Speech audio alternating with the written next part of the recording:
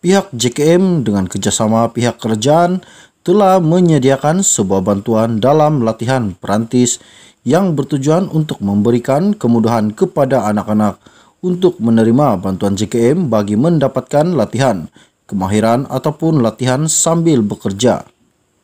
Bantuan kewangan ini diperkenalkan oleh pihak JKM bagi bertujuan untuk membantu meringankan beban kehidupan seharian golongan B40 yang kehilangan sumber pendapatan akibat daripada penularan, penularan wabak pandemik COVID-19 yang melanda negara kita ini.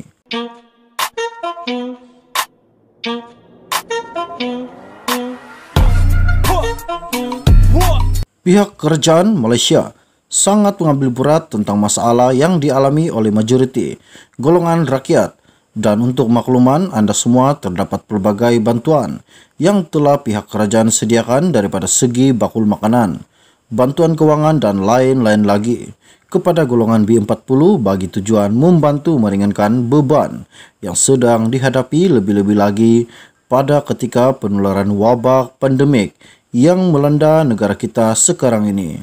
Untuk makluman, jumlah bantuan kewangan yang akan disalurkan kepada golongan B40 yang layak sebanyak RM200 sebulan.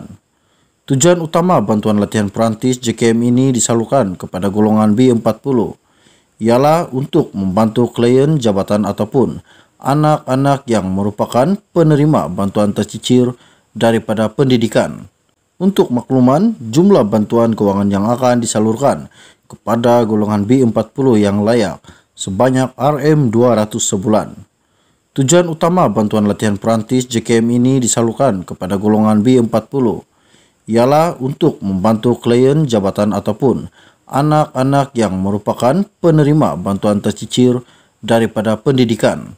Bekas pelatih di institusi kebajikan untuk mendapatkan latihan kemahiran.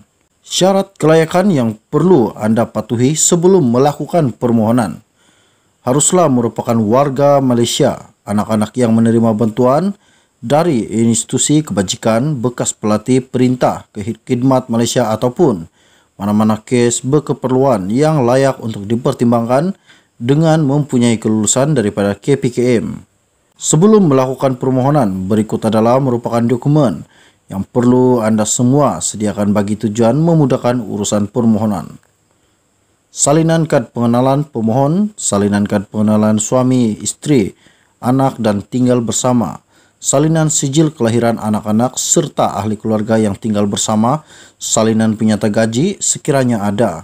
Dokumen lain yang dirasa diperlukan berikut adalah merupakan borang permohonan yang perlu anda lengkapkan dan kemudian hantar ke pejabat JKM yang berhampiran dengan kawasan anda atau boleh melayari di laman web portal Semakan Bantuan JKM.